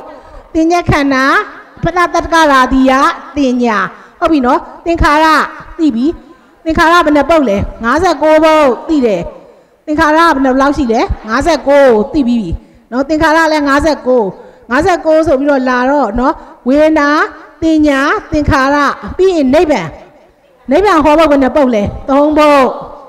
3ပုတ်ဟုတ်ပြီနော်ပြီးရင်ဒီစေသိက်52ပေါ့ဝေဒနာတင်ညာသင်္ခါရဆိုပြီးစေသိက်52စလုံးကိုဟောတာဘယ်နှပုတ်လဲ6ပုတ်ဟုတ်ပြီနော်ဗာလဲ6ပုတ်နော်စေသိက်52စလုံးကိုဟောတာဗာလဲ6ပုတ် အော်စေသိက်ဟောဖို့ကုန်ပြီလားမကုန်သေးဘူးနော်ဇာနာဓမ္မလေဇာနာဓမ္မဆိုရင်ဗာလဲဝေဒနာနဲ့ဗာနဲ့ကိုပေါင်းထားတယ်သင်္ခါရကိုပေါင်းထားတာဝေဒနာနဲ့ကိုသင်္ခါရကိုပေါင်းထားတယ်ဇာနာဓမ္မဒီတိနော်ကဲပေါင်းကြည့်အောင်17နဲ့59တော့80ဟုတ်ပြီနော်80ဒီကဘယ်လောက်ရှိရလဲ85 85 6နဲ့ပေါင်း81 81 1နဲ့ပေါင်း82အဲ့ဒါကုန်ပြီဝေရ82 နော်စေသိက်52နဲ့နိဗ္ဗာန်ပါတဲ့ဟောဘုတ်ဟုတ်ပြီနော်နိဗ္ဗာန်ပါတဲ့ဟောဘုတ်အကုန်လုံးဟောဘုတ်ပေါင်းမနှစ်ပုတ်ရှိလဲ82ပုတ်ရေရက်တယ်နော်82ပုတ်နော်ကျမတို့ဟိုနေရတစ်ထရဂတိဂတိပြောလာခဲ့တော့အခု59ကလည်းယင်နေပြီလေယင်နေပြီနော်အဲအကြောင်းမလို့ဝေနာဝေနာအပြည့်ဘယ်လောက်ရှိလဲ3ပုတ်အစိတ်က10ပုတ်အစိတ်ကလည်းဝေနေတွေ5ပါးဟုတ်တယ်လားနော်ပြီးရင်ပရိစ္ဆသမုပ္ပတ်ကသောကဒုက္ခဒေါမနတသိပြီးပြီ ပညာလည်းပညာခန္ဓာဖတတတကရာတိယပညာသင်္ခါရ59ကလည်းကိုသိပြီဟုတ်တယ်နော်သင်္ခါရ59သင်္ခါရ59လေးပြန်ရေးကြည့်အောင်မှာသစ္စာနှစ်ခုဟုတ်တယ်မလားသစ္စာမေဃသစ္စာသမုဒယသစ္စာအိန္ဒြေတွေက10ခုဟုတ်လားအိန္ဒြေတွေက10ခု10ခုနော်အိန္ဒြေထဲမှာဘိုးအိန္ဒြေ5ပါးရယ်လောကုတ္တရာအိန္ဒြေ3ပါးပရိစ္ဆသမုပ္ပတ်ထဲက9ခုဟုတ်လား 9ခုနော်ပြီးရင်နောက်ပါရှိသေးလေဥပရိတွေကဟုတ်တယ်နော်ဥပရိထဲမှာဇာနာနဲ့အဋ္ဌိဘတ်ကိုဖယ်ဖယ်လိုက်တော့ခုနှစ်ခုဟိုဘက်ကလည်းဖတတတကရာဒီမှာအမြဲ၄ခုသင်္ခါရခန္ဓာ၄ခုဆိုတော့ဥပရိထဲမှာ7ခု7ခုဆိုရင် तू က15ဟုတ်တယ်နော် तू က3ပေါင်းတော့ဘယ်လောက်လဲသချစ်ပြီးတော့မှသင်္ခါရခန္ဓာအပြည့်ကြီးတစ်ခုရှိသေးတယ်လေသင်္ခါရခန္ဓာခန္ဓာ၅ပါးထဲမှာသင်္ခါရခန္ဓာ စေသိက်90ရတာအပြည့်ကြီးတစ်ခုအဲ့တော့အလုံးပေါင်းလိုက်လို့ရှိရင်အဲ့ဒါဘယ်လောက်ရှိလဲဆိုရင်နော်ဒီက30ဒီကတစ်ခွန်တစ်ဆို9 29အဲ့ဒါကိုဟိုဘက်ကဂုစက30နဲ့ပါဂုစက30နဲ့ပါ59အဲ့တော့ဒီ29ကမှတ်ထားလိုက်နော်တီနီရှိခွန်7တီနီရှိခွန်7 တစ်ကဘယ်ကလဲခန္ဓာတွေကသင်္ခါရခန္ဓာနှစ်ကသစ္စာတွေကရှစ်ထက်ကအိန္ဒြေတွေကခုနှစ်ကပရိစ္ဆသမုပ္ပါက7ကဥပရိယနော်7ကဥပရိယပြီးရင်အဲ့ဒါဆိုရင်59ပါးရပြီနော်အဲ့59ပါးပြီးရင်နိဗ္ဗာန်သုံးပုဒ်ကလည်းသိပြီးသားနိရောဓသစ္စာအပ္ပစ္စယဓမ္မအသင်္ခတစေသိက်52ကလည်းခဏခဏညွတ်နေကြမဟာန္တရတုတ်ထဲက6ပုဒ်နော်ပြီးရင်ဇာနာဓမ္မဒါအယောလေးတစ်ပုဒ်ပဲပါတယ် နော်အယောလေးပေါ့နော်ဒီစေသိက်51ကလည်းတကယ်တော့အယောပဲလေဝေနာတင်ညာသင်္ခါရအဲ့တော့အလုံးပေါင်းပေါင်းလိုက်လို့ရှိရင်ဘယ်နှပုဒ်လဲ82ပုဒ်အဲ့တော့သူဆိုရင်ရောဘာကိုရေဆွဲရမလဲတဲ့သူဆိုရင်ဟုတ်ပြီနော်သူဆိုရင်နဲ့စိတ်89နဲ့အော်စနစ်ကိုဆွဲတဲ့ဟုတ်လားနော်ဒီလိုယူလဲရင်ဒါဘယ်ဘက်လက်ဆိုပေါ့ဘယ်ဘက်လက်ဆိုခေါင်းနဲ့ညာဘက်လက်ကိုဆွဲအဲ့လိုမျိုးခေါင်းနဲ့ညာဘက်လက်ကိုဆွဲ နော်အဲ့လိုမျိုးဆိုတော့ဒီဘက်ကတရားသာဖြစ်ခဲ့ရင်ရေဆွဲရမယ့်တရားကဘာလဲသူနဲ့သူဟုတ်ပြီနော်သူနဲ့သူပြီးရင်ဒုရေဓမ္မာယဒါပထမရေဓမ္မာဆိုရင်ဒုရေဓမ္မာအယသူ့ကိုပြန်ဆွဲသူ့ကိုပြန်ဆွဲဟုတ်ပြီနော် तू က तू နဲ့သူ့ကိုဆွဲသူတို့နှစ်ခုကဒုရေဓမ္မာကြရင်စေသိမ့်50နှစ်နဲ့နိဗ္ဗာန်အကုန်လုံးကိုဆွဲအကုန်လုံးအပြည့်ကြီးကိုဆွဲမယ်ဟုတ်တယ်နော်ဒုရေဓမ္မာကြရင်အပြည့်ပဲအပြည့်ပဲဟုတ်နော် အဲ့တော့ကျမတို့ကသိပြီးသွားပြီဟုတ်တယ်နော်ပရေမှာဘာကိုဆွဲရမှာလဲပြောပရေမှာစိတ်89နဲ့ဩစနစ်ကိုဆွဲမယ်စိတ်89နဲ့ဘယ်သူကိုဆွဲရမလဲဩစနစ်ဒုရေကြတော့အဲ့နှစ်ခုကစေ50နဲ့နိဗ္ဗာန်ကိုဆွဲဟုတ်ပြီလားစေသိန်း51နဲ့နိဗ္ဗာန်ကိုဆွဲအဲ့သိသွားပြီးရင်ကျမတို့ဒီမှာဟောဘုတ်တွေလာထည့်ကြည့်တော့မယ်ဟုတ်ပြီနော်ဘာရင်မတူအောင်လဲဟောဘုတ်နဲ့ရေဓမာတွေကဘာရင်မတူအောင်လဲခံအတတ်မတူအောင် တခါပရေဓမာနဲ့ဒုရေဓမာလည်းဘာမတူအောင်လဲခံအတတ်မတူအောင်ဟုတ်ပြီနော်အဲ့တော့ဆက်စချင်းသင်္ခါရခန္ဓာဆိုပါတော့ဆက်စချင်းပါလေသင်္ခါရခန္ဓာသင်္ခါရခန္ဓာဓမ္မယရဏဓမ္မတတ်ဘာခန္ဓာလဲသင်္ခါရခန္ဓာသင်္ခါရခန္ဓာနော်ဟောဘုတ်ကသင်္ခါရခန္ဓာစေသိန်း50သင်္ခါရခန္ဓာဓမ္မယနာဓမ္မတတ်စိတ်89နဲ့ဩစနစ်ကပါလေစိတ်89နဲ့ဩစနစ်ကနှစ်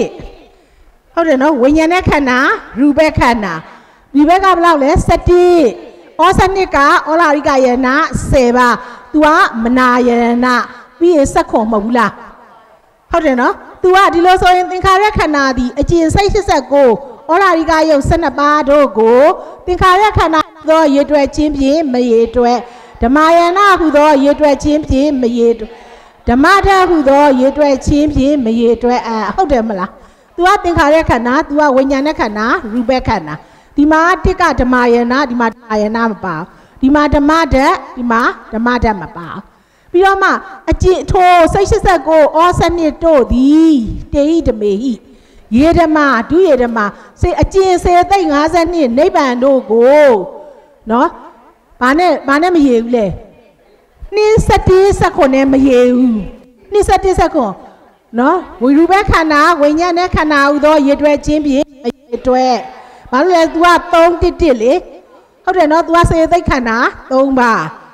तू ကပါလဲဩလာရိကယနာ10ပါမနာယနာဟုသောရေချင်းဖြင့်မရေတွဲ तू ကဓမ္မယနာဩလာရိကယနာ10ပါတတဝိညာဏဓာတ်ဟုသောရေတွဲချင်းဖြင့်မရေတွဲနော် तू ကဘာဖြစ်လဲဓမ္မဓာတ်ပြီးတော့မှထိုစေသိမ့်50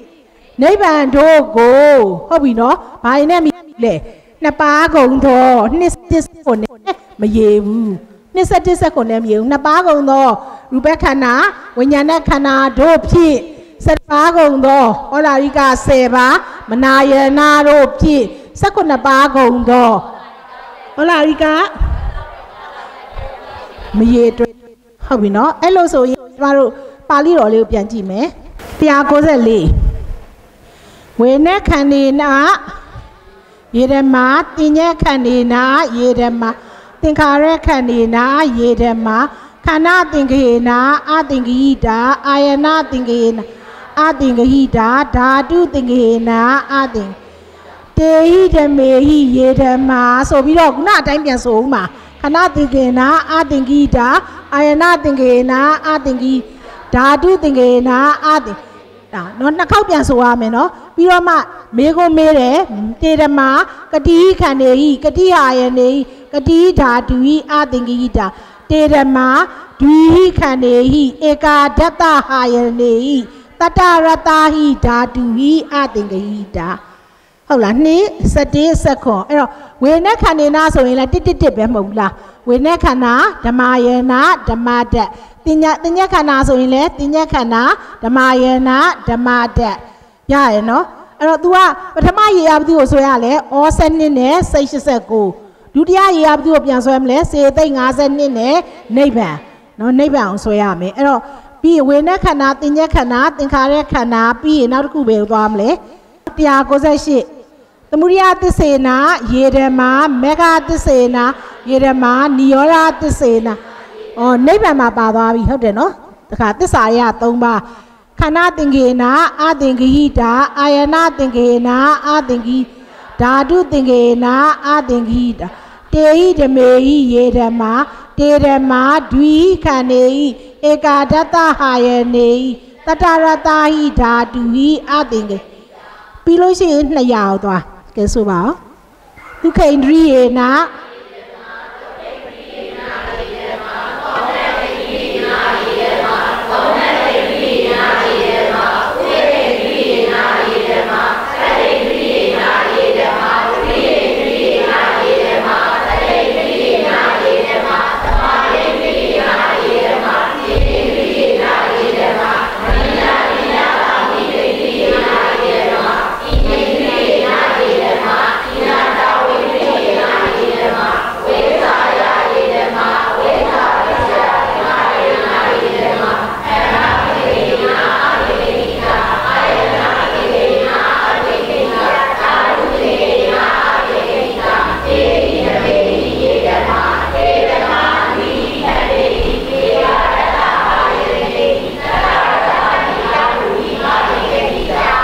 အော်ပြီးရင်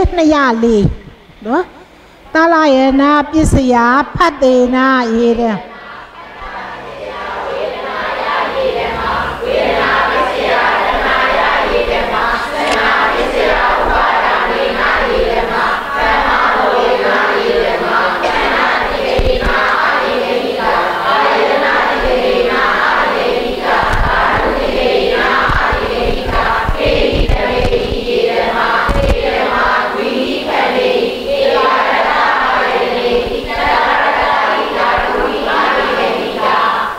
ရ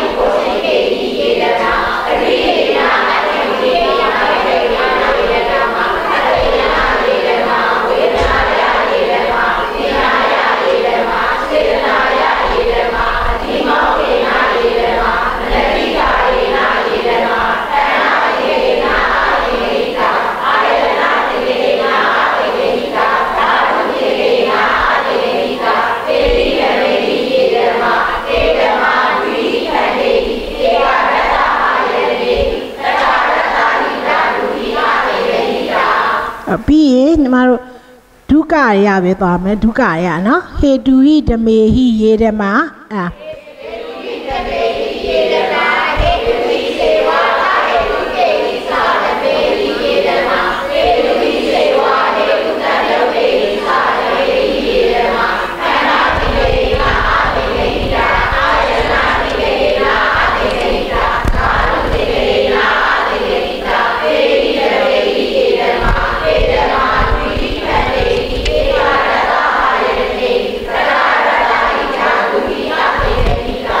218အာတဝေဟိ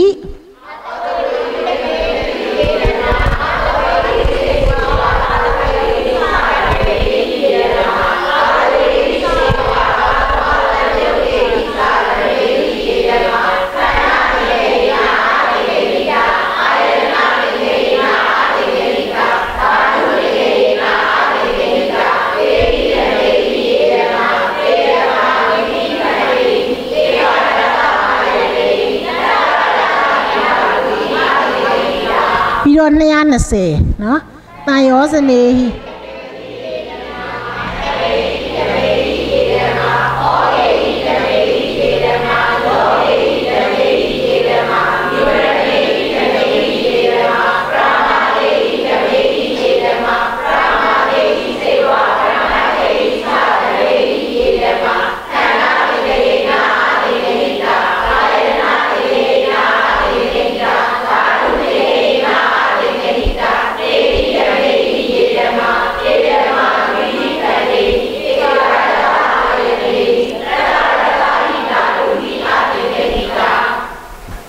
စေတသိကေဟိနော်224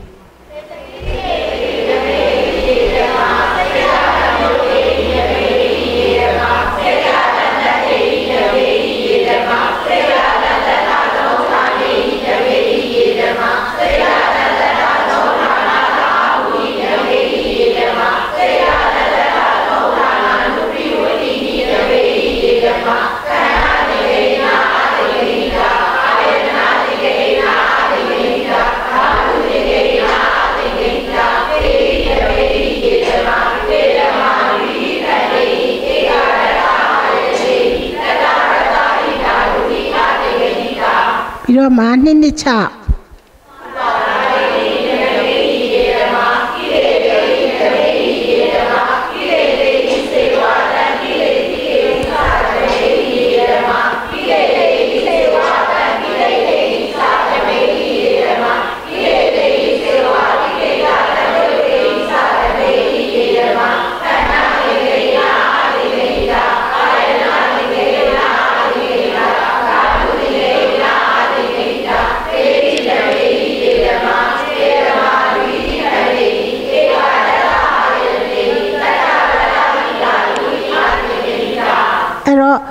10ခုမှာဟေတု3ခုအတဝါ3ခုတန်ရောစဉ်ခန္ဓာဩဃယောဂနိဝေနဥပါဒါနာเนาะအဲ့ဒါအားလုံးက3ခုစီเนาะဟေတုက3ခုเนาะကျန်တဲ့ခုနှစ်ခုက3ခုပရာမာတာ2ခုကိလေသာ4ခုเนาะအဲ့30အပြီးရင်ရူဝေရူဝေဆိုရင်ခုနခုနပုံလေးပြန်ဆွဲပါမယ်သူကထိတ်ကပါလာလဲစိတ်89 အောက်ကပါရှိလဲဒုက္ခမာယုတ်16နော်ပြီးရင်ဒီဘက်ကပါရှိလဲဩလာရိကာယုတ်စနစ်ဒီဘက်ကပါရှိလဲဒီသုံးခုကိုပေါင်းပြီးတော့ယုတ်ပါစိတ်မပါတဲ့ဟောဘုတ်ကိုဘာဖြစ်ဟောလဲရူရူစနစ်ပြီးရင်ဒီဘက်ကဝေဒနာနဲ့စေစေသိမ့်နဲ့နိဗ္ဗာန်ပါတဲ့ဟောဘုတ်တွေကိုဝေစီပြီးတော့82ပုတ်နဲ့ဟောတယ် ဝိရတော့လွယ်ပါတယ်ဝိဝိနော်ဝိဆိုတာဝိညာဉ်နဲ့ခန္ဓာသူသူကလေးရောက်ပြီဟုတ်တယ်နော်သူကလေးကြတော့စိတ်89ဆိုတော့ဒီမှာဟောပုတ်ဘယ်လောက်ရှိမလဲဆိုရင်စိတ်အပြည့်က6ပုတ်89အပြည့်ဟောတာ6ပုတ်စိတ်တစ်စိတ်ဟောတာ9ပုတ်နော်စကုဝိညာဏဓာတ်သောတာဝိညာဏဓာတ်ဆိုပြီးဓာတ်9ပါးဟောနေဟောတာ9ပုတ်စိတ်အပြည့်ဟောတာ6ပုတ်ဆိုတော့ဝိရဘယ်နှပုတ်လဲ73ပုတ်ဝိရ73ပုတ်နော် အဲ့တော့ तू ကစိတ်အပြည့်ဟောပုတ်တွေအားလုံးကနော်ခန္ဓာမှာဗာလဲဟောလဲဝိညာဉ်နဲ့ခန္ဓာခန္ဓာမှာဝိညာဉ်နဲ့ခန္ဓာခန္ဓာနော်ပြီးရင်အာယနာမှာမနာယရဏနော်ဓမ္မာဓာတ်ခုနှစ်ပါးဓာတ်ဘယ်နှပါးလဲခုနှစ်ပါးနော်ခုနှစ်ပါးပြီးရင်ဗာလဲအိန္ဒြေမှာမနိန္ဒြေမနိန္ဒြေပရိစ္ဆသမုပ္ပတ်မှာ သင်္ခါရပစ္စယဝိညာဏံသင်္ခါရကြောင့်ဖြစ်တဲ့ဝိညာဏံနော်ပြီးရင်ဖသတတ္တကရာဒီထဲမှာစိတ်တံစိတ်တံပြီးရင်ဗာလဲနောက်ဆုံးဟာစိတ်တာဓမ္မမဟန္တရထုတ်ထဲကစိတ်တာဓမ္မအလုံးထဲမှာဘာဟိရတွေကဒီတစ်ခုပဲပါတာနော်ဘာဟိရတွေကဒီတစ်ခုပဲပါတာ73ပုတ်မှာအပေါ်က12ပုတ်ကဘယ်ရလဲအဘန္ဒရာတွေက အဲ့တော့ဝိညာဉ်နဲ့ခန္ဓာမနာယနာမနိန္ဒရေသင်္ခါရပစ္စယဝိညာဏစိတ်တာစိတ်တာဓမ္မဒီအလုံးပါလဲတစ်တစ်ကောဝိညာဉ်နဲ့ခန္ဓာမနာယနာတတ္တဝိညာဉ်ဒီဓာတ်ခုနှစ်ပါးကြတော့အလုံးတစ်ခုစီကတစ်တစ်တစ်ပဲတစ်ခုစီဒီပါလဲတစ်တစ်တစ်ပဲနော်ဝိညာဉ်နဲ့ခန္ဓာမနာယနာစကုဝိညာဏဓာတ်ဝိညာဉ်နဲ့ခန္ဓာမနာယနာသောတာဝိညာဏဓာတ် ဝိညာဉ်နဲ့ခန္ဓာမနာယနာဂာနဝိညာဏဓာတ်အကုန်လုံးဓာတ်ကလေးတွေပဲကွဲသွားမှာနော်အစိတ်ခုနှစ်ပုတ်ကအဲ့တော့ तू ကဘသူ့ကိုရေဆွဲမလဲဆိုတော့ပရေဓမာသည် तू ကဒါဆိုရင်အောက်က၃ခုစလုံးရေဆွဲဘာရေဆွဲမလဲ၃ခုစလုံးဆိုတော့ရုပ်ဘလောက်လဲ28စေသိန်း52နိဗ္ဗာန်အဲ့ဒါကိုရေဆွဲအယုံ28စေသိန်း52နိဗ္ဗာန်သည်ဘယ်လောက်ရလဲနော် तू က၄ပါး နော်ပြီးရုပ်28ပါရင်7 7နော်ပြီးရင် तू ကနေပြီးတစ်ခါ तू ဘသူ့ကိုပြန်ဆွဲရမလဲဒုရေဒုရေဘသူ့ကိုဆွဲမလဲဒုရေပေါ်ပြန်ဆွဲစိတ်89ကိုပြန်ဆွဲဘာကိုပြန်ဆွဲမလဲစိတ်89ကိုပြန်သူကဒီသုံးခုစလုံးကိုဆွဲဒီသုံးခုစလုံးကအပေါ်ကိုပြန်ဆွဲအဖြေကဘာထွက်မလဲ၄၁၁အဖြေကဘာထွက်မလဲ၄၁၁ အဲ့တော့ဝိညာဉ်နဲ့ခန္ဓာသည်ဟုတ်တော့တစ်တစ်ခွန်အချင်းယုံ28စေသိ50နှစ်နိဗ္ဗာန်တို့ကိုဝိညာဉ်နဲ့ခန္ဓာဟူသောရည်တွက်ခြင်းဖြင့်မရည်တွက်မနာယနာဟူသောရည်တွက်ခြင်းဖြင့်မနွေတွက်အပ်တတဝိညာဏဓာတ်ဟူသောရည်တွက်ခြင်းဖြင့်မရည်တွက်အပ်ပြီးတော့မှထိုယုံ28 50သိ50နှစ်နိဗ္ဗာန်တို့သည်အကျဉ်းစိတ်89ပါးကိုရူပခန္ဓာ ဝိညာဉ်ခန္ဓာတင်ညက်ခန္ဓာသင်္ခါရခန္ဓာဟူသောရည်တွက်ခြင်းဖြင့်မရည်တွက်အပ် ဩလာရိကယနာ10ပါးမနာယဓမ္မယနာဟုသောရေတွက်ခြင်းဖြင့်မရေတွက်အပ်ဩလာရိကဓာတ်10ပါးရေတွက်ခြင်းဖြင့်မရေဘာဘလောက်နဲ့မရေတွက်မလဲ၄ပါးကုန်သော7ပါးကုန်သော7ပါးကုန်သောရပြီเนาะဒါပဲ195ဝိညာဉ်နဲ့ခန္ဒီနာယေဓမ္မာ မနာယနာယေဓမ္မာသက္ကဝိညာဏဓာတုယာယေဓမ္မာမနောဓာတုယာယေဓမ္မာမနောဝိညာဏဓာတုယာယေဓမ္မာမနိန္ဒရိယေနယေဓမ္မာခန္ဓာသင်္ကေနာအသင်္ကဟိတာအာယနာ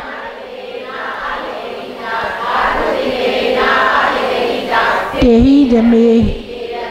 တေဓမ္မာစတုဟိခန္ဒီဧကာဒတ္တဟာယနေဟိ ဧကာဒတ္တဟိဓာတုဟိအသင်္ကဟိတာလေစတိစတိနော်ပြီးရင်201သင်္ခါရပစ္စယ201 201သင်္ခါရပစ္စယဝိညာဏေနယေဓမ္မခန္ဓာသင်္ကဟေနအသင်္ကဟိအာယနာသင်္ကဟေနအသင်္ကဟိတာဓာတုသင်္ကဟေနအသင်္ကဟိတေဟိဓမေဟိယေဓမ္မတေဓမ္မာစတုဟိခန္နေ ဧကဒတ္တဟာယနေဧကဒတ္တဟိဓာတုဟိအသင်္ကဟိတာနော်ပြီးရင်တရားကိုနေရာကိုစိတ်တေနာယေဓမ္မာခန္ဓာသင်္ကေနာအသင်္ကဟိတာအာယနာသင်္ကေနာအသင်္ကဟိဓာတုသင်္ကေနာအသင်္ကဟိတာတေဟိဓမေဟိယေဓမ္မာတေဓမ္မာစတုဟိခန္နေဧကာဒတ္တဟာယနေ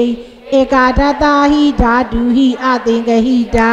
ပြီးတော့မဟိုးနောက်မှာ223စိတ်တေဟိဓမေဟိယေဓမ္မာခန္ဓာသင်္ခေနာအသင်္ကဟိတာအာယနာသင်္ကေနာအသင်္ကဟိဓာတုသင်္ကေနာအသင်္ကဟိတာတေဟိဓမေဟိယေဓမ္မာတေဓမ္မာစတုဟိခာနေဧကာဒတ္တဟာယနေ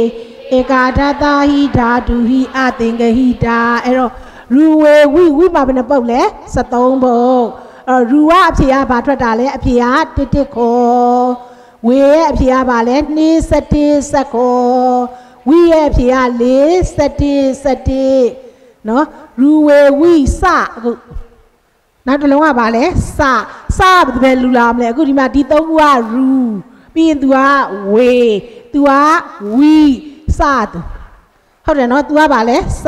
စဒီဘသူ့ကိုကိုစားပြုလဲဆိုတော့ဩလာရိကရုပ်ဟောဘုတ်တွေကိုကိုစားပြုမယ်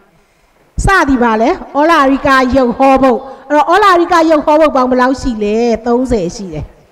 ဩလာရိကရုပ်ဟောဘုတ်ပေါင်း30ရှိတယ်စက္ခယရဏနေပြီးတော့ဖုထဗယရဏအထိယ10ဘုတ်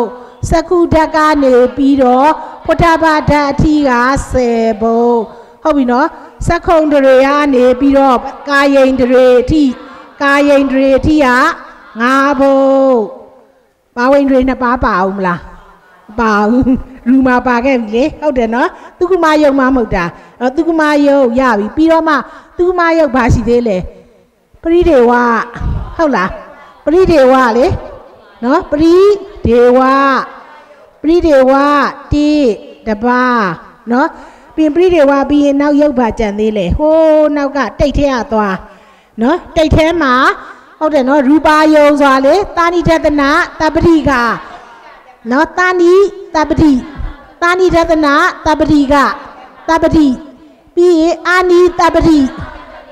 အာနိတတနာတပတိကနှစ်ပုတ်ဟုတ်လားစုလန္ဒရာဒုတ်စုလန္ဒရာဒုတ်မှာတာဏိတတနာတပါတစ်ခု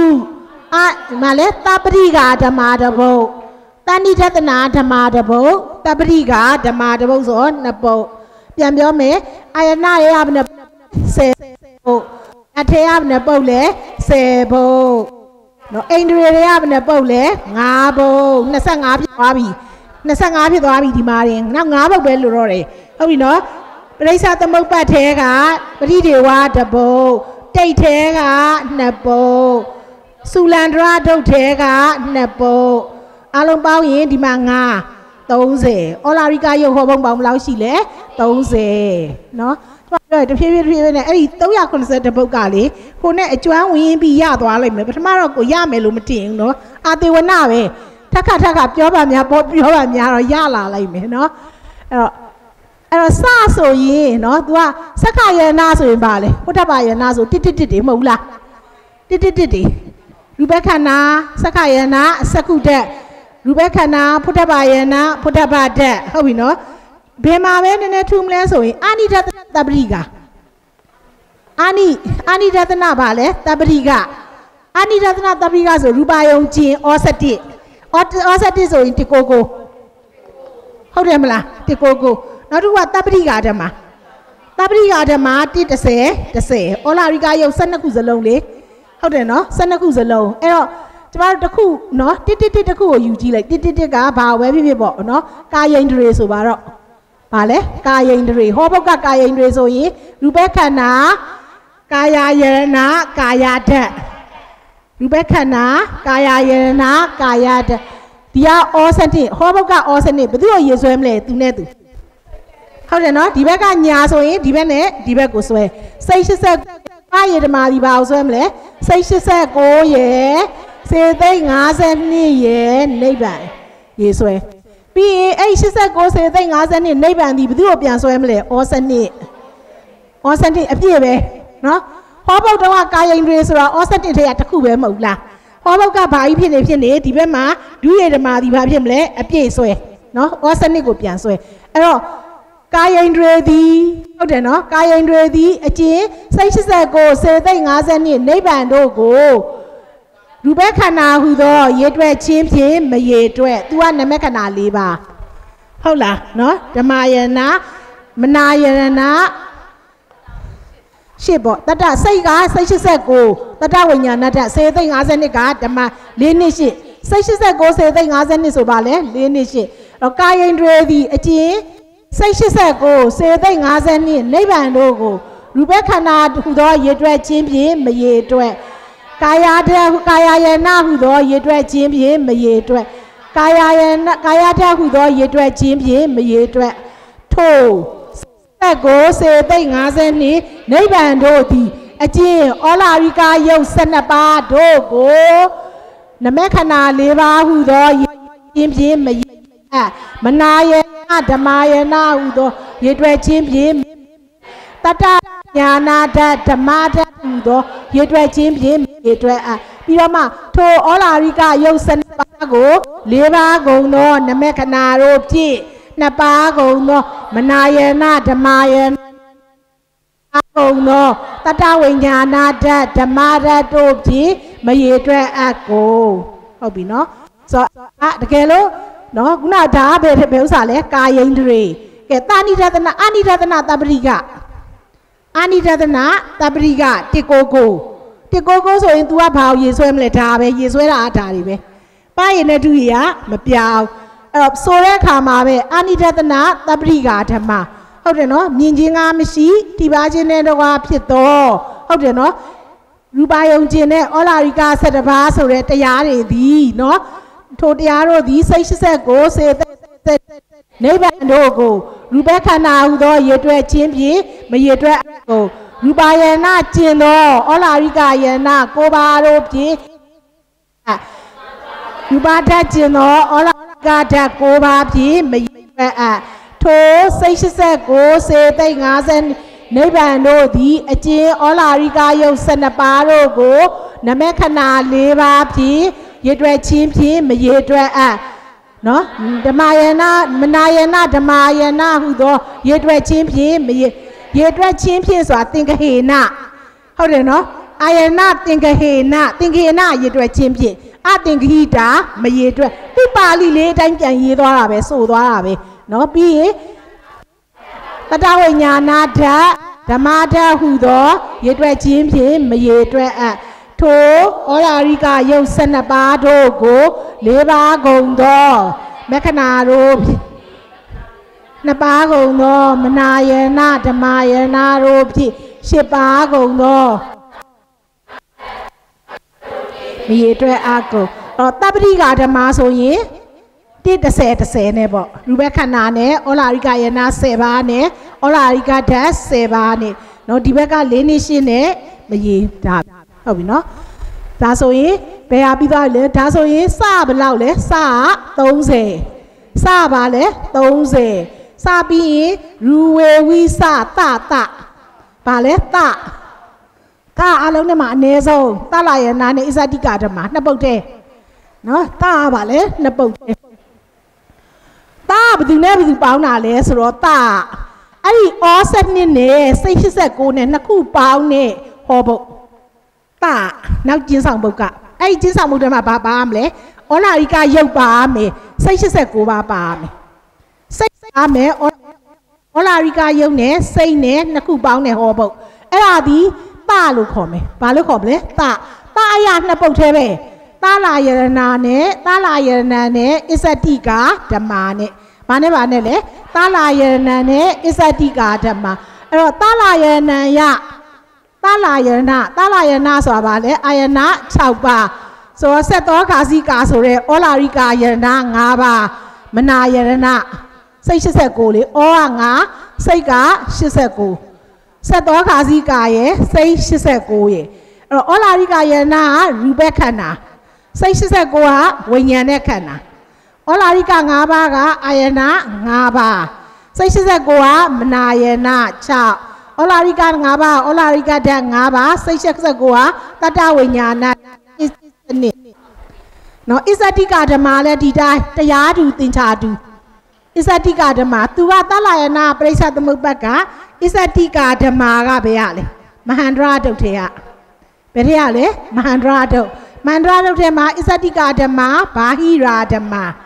နော်အစ္စတိကဓမ္မဘာဟိရာဓမ္မ အဲ့တော့အဲ့ဒီဥစ္စာအော်နဘာဟိရာဓမ္မဘယ်ထဲထဲရောက်သွားလဲရူထဲမှာ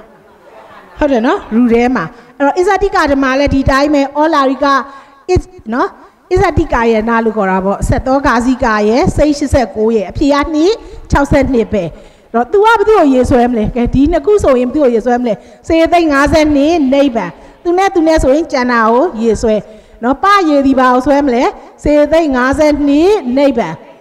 နှစ်နိဗ္ဗာန်ကိုဆွဲ ဒါဆိုရင်စေသိန်း50နှစ်နိဗ္ဗာန်ဒီဒုရေကြဘယ်သူ့ကိုဆွဲမလဲဩစနှစ်ဩစနှစ်နဲ့စိတ်89ကိုရေဆွဲ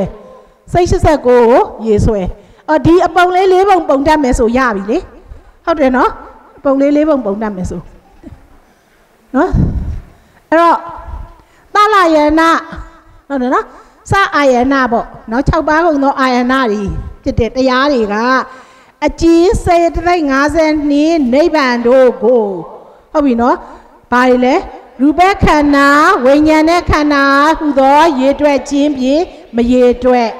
ဟုတ်ပြီနော်ဒီကစက္ခယနာသောတာယနာဂာနာယနာဇိဝယနာကာယယနာမနာယ6ပါးဟုတ်တယ်ဒါမှမဟုတ်လေအစ္ဆတိကယနာ၅ပါးမနာယနာဟုသော ရေတွက်ခြင်းဖြင့်မရေတွက်အစ္ဆတိကဓာတ်၅ပါးတတဝိညာဏဓာတ်ဟုသော ရေတွက်ခြင်းဖြင့်မရေတွက် အစ္ဆတိက၅ပါးဝိညာဏဓာတ်9ပါး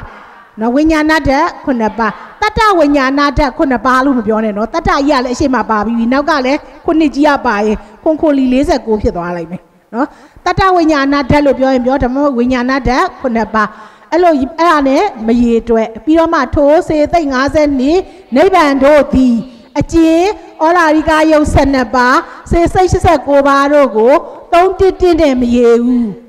ဟုတ်တယ်နော်3တစ်တစ်နဲ့မရေတွက်ဘူးပါနဲ့လေဆိုရင် तू ဟာဝေနဲ့ခန္ဓာတင်ကျက်ခန္ဓာသင်္ခါရခန္ဓာနဲ့မရေတွက်ဓမ္မယနာနဲ့မရေတွက်ဘူးဓမ္မတတ်နဲ့မရေတွက်ဘူးเนาะအပြေကဘာတွက်မလဲ3တစ်တစ်3တစ်ထိုဩလာရိကယုတ်12ပါးစိတ်89ပါးเนาะစိတ်89ပါးတို့ကို3တစ်တစ်နဲ့မရေတွက်ဘူးเนาะအဲ့တော့ဒါအဲ့ဒီမှာနှစ်ပုတ်ပဲ နော်တာရဘယ်နှပုတ်လဲနှစ်ပုတ်ပဲအဲ့တော့ဆက်နဲ့တာကိုပေါင်းဆိုအောင်နော်196စက္ခာယနေနာရေဓမ္မဖုဒ္ဓဘာယနေနာရေဓမ္မစကုဓာတုယာရေဓမ္မဖုဒ္ဓဘာဓာတုယာရေဓမ္မခန္ဓာသင်္ခေနာဧနာသင်္ခေနာအာသင်္ခဟိတာဓာတုသင်္ခေနာအာသင်္ခဟိတာတေရမရေဓမ္မတေရမစတုဟိခန္နေဟိ ဒွိဟာယနေဟိအတာဟိဓာတုဟိအာသင်္ခဟိဟုတ်ပြီနော်ပြီးရင်199သက္ကုံဒွိယေနာယေဓမ္မာကာယိန္ဒြိယေနာ